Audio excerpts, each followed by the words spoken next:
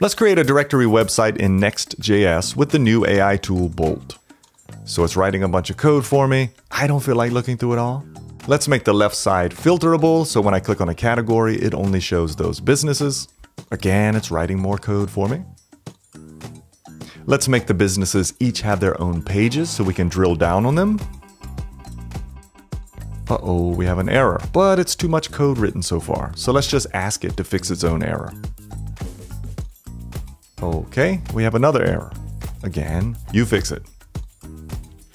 Now let's create a blog for this site.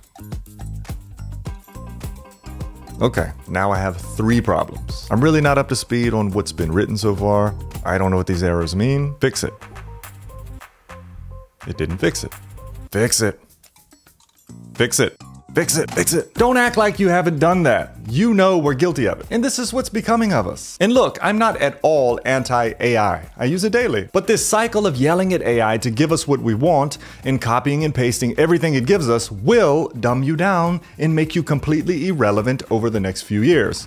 The Nvidia CEO has said that AI will bring about the end of coders, that coding as a career will become obsolete. Well, if you're a developer who has resorted to letting AI write all of your code, solve all of your problems, and then copy and paste whatever it gives you because you don't feel like reading through it all, then yes, we will become obsolete. And maybe that's what these CEOs want or what they expect to happen. But in reality, AI isn't going to end software engineering as a career, it will just dumb you down enough to weed you out of the industry. If you stop writing code, reading code, and rely on AI to do it all for you, you will slowly become irrelevant, and your sharpness as a thinker, a problem solver, will deteriorate. And we don't want this. We see it in schools now, in colleges. Kids are using AI to give them all of the answers. And if everyone is doing this, imagine being the one kid who actually puts in the work and understands the material you'd be a genius. You'd be miles ahead of the rest. But we also simultaneously don't want to cast aside the value that AI brings to us currently either. AI innovations can provide for us shortcuts, but we have to be strategic in how we take these shortcuts. Calculators may have made us lazier, but they freed us up to be more innovative using them as a tool alongside of our innovations. Social media can cause one person to doom scroll for an hour and not realize the time they've completely wasted, and it can give another person, with self-control, thousands thousands of people around the world to market their product to and to connect with. And similarly, there's a thin line between AI dumbing us down and AI bringing about a 10x in productivity. It can slowly make you dependent on it and irrelevant in this career, or it can be a sort of co-intelligence that works alongside of your human-centric experience. Now we open this video with Bolt.new, which is a new AI code editor, and it's amazing. I'm not knocking that specifically. However, Play around with it long enough the wrong way and you're going to get frustrated. Either it isn't doing what you want it to because you don't really know what you're doing, or it isn't doing what you want it to because you know exactly what it's doing and it's not doing what you actually want it to. Hope that made sense. Or you implement some feature with it, and then you bring in some new feature next that undoes the feature before that one completely. And the temptation here is speed over quality. And if you do this long enough, you'll end up with an app that you have no clue how it was written and are far too deep into it to try and go back and understand it. So in this video, I want to help you draw this fine line that we talked about earlier between becoming a victim of this technological dumb down and actually becoming a 10x engineer. Here are three principles to follow as developers. Number one, one, evaluate the code. At every step you take in AI writing code for you, be sure to take the time to understand what it just wrote. Seven times out of 10, you will agree with most of what was written. For instance, at the beginning of this video, when I asked Bolt to make each listing linked to its own page, it simply added a business folder with an ID wildcard folder and a page template.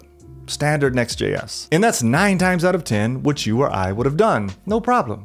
But at this point, you, number one, want to read over it and tweak it as necessary in context of your codebase. And number two, you want to be up to date on what has been added to your codebase so you don't down the road get stuck yelling at AI to fix its own issues. The code is yours, but AI just did the heavy lifting for you. Don't let AI drive you. You drive it it serves you. This means you read through the code that it spits out at you. This not only keeps you sharp, but it keeps potential malicious code from entering your codebase. Wild example, and shout out to Matt P on this tweet, but what if it had this buried in the middle of it and you didn't review it? This particular code would leak your environment variables to a malicious endpoint. You need to be the code reviewer, the tweaker, and have the final say as to what makes it from the AI response to your code base. AI is your co intelligence, your personal assistant, and that relationship needs to remain firm. Don't be lazy and don't let the senior devs reading your code think that was really you who slopped it all together. And if you're learning to code or still somewhat new to it, you probably should not be using AI for coding at all. Learn the craft first, then let it assist you later down the road.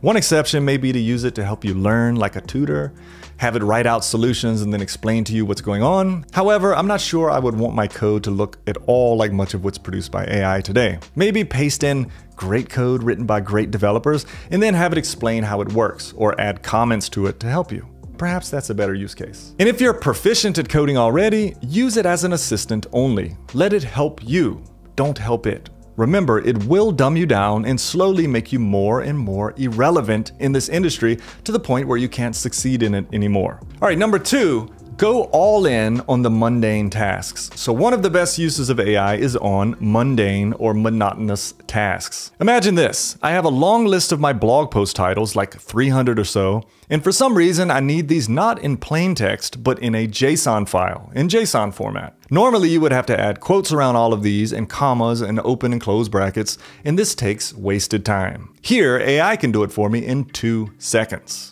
What if I had this one long function call that updates the user subscription, and I realized that I'm actually supposed to send this as form data, which means one approach would be to wrap all of these values in a body.get. Now again, you don't have to do this one by one. That's wasted time. Instead, just provide AI with a very detailed prompt and voila, your conversion is complete. And if you're a content creator and you need YouTube title ideas or you have a script and you want to take it, clean it up and write an SEO optimized blog post from it and generate a title that will rank well and meta descriptions and all of that, AI is your number one bet. It's my sidekick in all of these tasks. So no more manual, mundane tasks. There are many monotonous things that steal your time away during the day.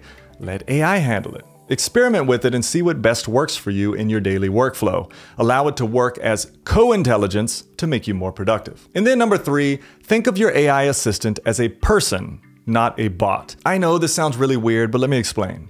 There's a guy by the name of Ethan Mollick who wrote this book called Co-Intelligence, Living and Working with AI. And he made this insightful observation in an interview. He said, What gives me some hope with this technology is that because it's so human-like, it's more natural to work with. Humans used to work with smart team members to solve problems. It's one thing if this thing becomes an all-intelligent god machine, but at the current level where you're interacting with this thing, and it's flawed, that's where it can be useful to be human-like. People get mad because it messes up. Well, I hope it's not going to be 100% accurate all the time. I hope it's not going to be trusted to run autonomously without oversight. If so, we're doomed. Instead, it's important not to go to the two extremes. The first, tossing the whole thing out as some failed mission, and then the second is to expect it to do everything perfectly. If we see it as a sidekick there to assist us, being in charge of the whole thing, then like any smart human coworker, we have to evaluate the results at the end of the day, we have to reason with it, and then make a call.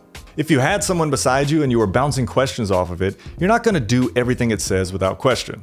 And you shouldn't do everything AI says or accept everything it gives us either. We should treat it as a sidekick and nothing more.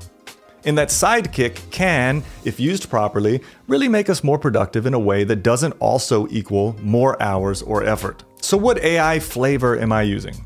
Easy. I started with ChatGPT, then I stumbled across Claude and realized that Claude is miles ahead of ChatGPT in programming. Then I got turned on to Perplexity Pro, where I can use any of these models in one place, and I now use that exclusively. This video is not sponsored, it's just what I currently use. As to code editors like Bolt, I'm not quite there yet. I tried Cursor and I just don't quite like it that close to my code, if that makes sense yet. We'll see where that goes down the road. But what are you using? I'd love to hear about it down in the comments. What's your approach to using AI to boost your productivity?